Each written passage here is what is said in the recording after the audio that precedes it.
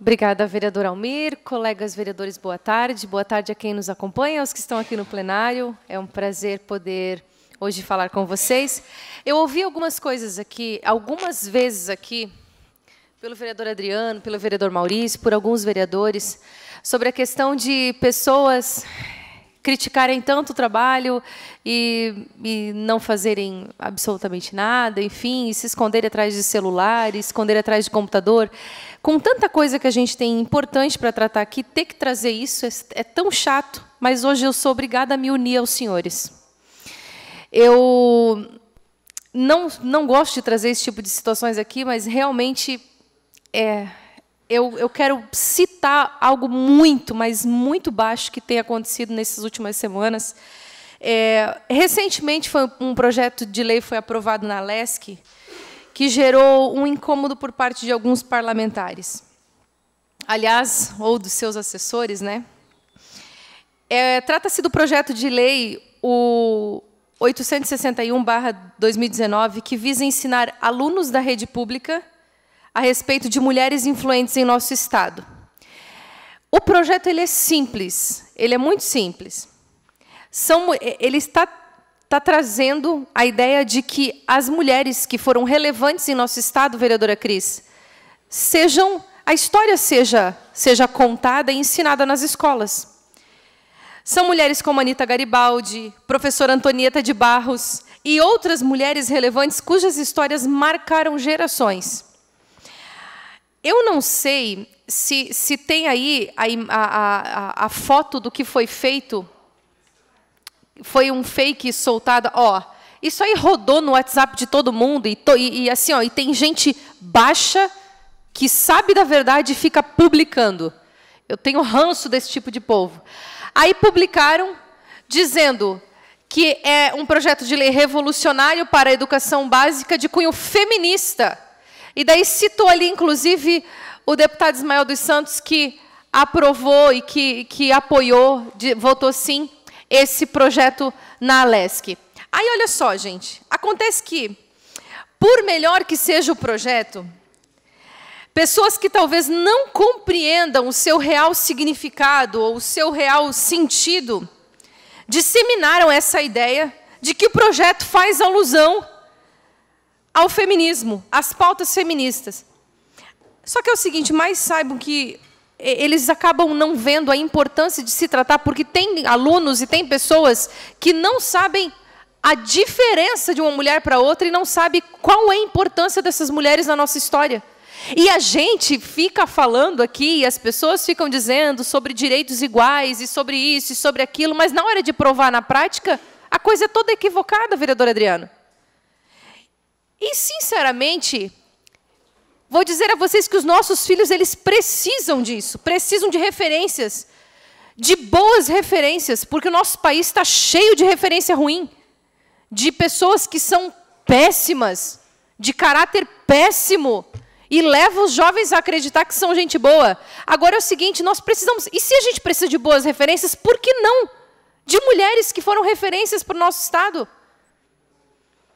Só que daí é o seguinte, eu, eu até tenho, até tenho um, um, um, vídeo do deputado Ismael, eu fiz questão de trazer. Ari, por favor, eu peço que a TVL, não sei se está pronto aí, para a gente soltar, eu gostaria que os senhores dessem uma olhada na justificativa. Nada disso. Nós fizemos aqui foi valorizar a história de mulheres que contribuíram, como disse, para a história catarinense. Eu cito aqui né, o, o, nome do nosso, do nosso hall aqui, que é Antonieta de Barros. A maioria dos alunos catarinenses não sabe, nossos 300 mil alunos de Santa Catarina, que Antonieta de Barros, mulher, negra, professora, foi a primeira deputada estadual de Santa Catarina. É esse tipo de cultura que nós queremos trazer. E aqui eu falo como doutor em literatura, deputado Berlanda. Não é possível a gente admitir isso, não é? Eu, eu, eu vou fazer um apelo, eu não acredito que foram os deputados que fizeram isso mas seus assessores provavelmente, saiam do jardim da infância, venham para a maturidade parlamentar, por favor. Tolstói, um dos maiores poetas da literatura universal, dizia: não existe grandeza quando simplicidade, bondade e verdade estiverem ausentes. Não existe grandeza se não houver verdade. Por favor, senhores produtores de fake news, saiam da lama das fake news e venham para as águas limpas da verdade. Esse era o meu desabafo que eu Obrigada. preciso fazer, senhor presidente. Muito obrigada. Eu quero só concluir. É, por que, que eu trouxe exclusivamente isso? Senhores, eu já falei algumas vezes aqui, e no meu, inclusive, vereador Diego, quando eu, eu, eu fiz o meu primeiro pronunciamento, ainda na posse, no dia da posse, o meu discurso eu disse, vereador João, que nós temos que semear como, como vereadores. E isso é muito sério, gente. Nós temos que semear somente aquilo que Deus, que é santo, tenha prazer em regar. Não é espiritualizar as coisas, mas eu acredito que existe algo infalível que é a lei da semeadura. Eu acho, com convicção, que todos os meus colegas, eu já disse isso outras vezes aqui, têm potencial para ir muito mais longe do que a vereança. Muito mais longe para ser candidato a deputado estadual, deputado federal, governador, seja lá o que o coração de vocês desejem, façam isso. Só que façam de forma coerente. É muito triste ver dentro dessa casa acontecer esse tipo de propagação. Até, até me mandaram uma, uma resposta dizendo assim, ó, é, ó, você soube disso e tal, é, é, fulano de tal está propagando isso. Falei, bom, quem não tem o que fazer, quem não quer trabalhar, faz esse tipo de coisa. E quando viu esse vídeo, disse, não, mas eu já vi esse vídeo, eu sei o que, que é, mas é época de campanha, gente, que vergonha. Que vergonha. A política não é isso, gente. A política é muito mais do que essa sujeira, essa lama que a gente vê pré-período de eleição, principalmente para quem tem pretensões políticas. E vou dizer uma coisa: para quem tem pretensões políticas, fazer esse tipo de coisa você não merece nem ser síndico de prédio. Nem isso.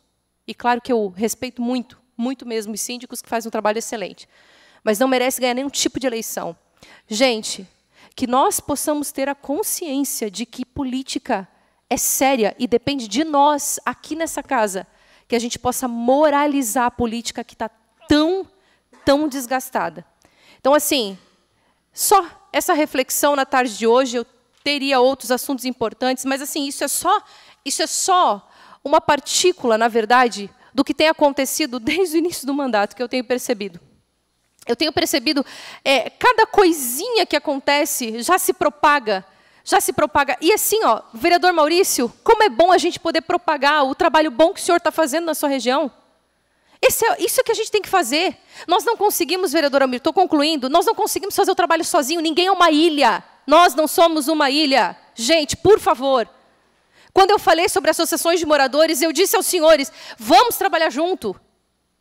Vamos trabalhar junto. Agora, sim, não, não usem seu tempo, que é precioso, que a gente nunca sabe quanto tempo a gente tem de vida. Não invista a sua vida. É verdade. Não, não, gente, não invistam a vida de vocês em querer denigrir a imagem alheia. Façam um bom trabalho que as pessoas vão aplaudir você. Não, ninguém vai aplaudir as pessoas que fazem esse tipo de coisa. Fica um conselho do meu coração, do meu coração como se fosse a última vez que eu fosse me pronunciar na minha vida. Façam o que gostariam que os outros fizessem para vocês. Tá bom? Seria isso, vereador. Muito obrigada.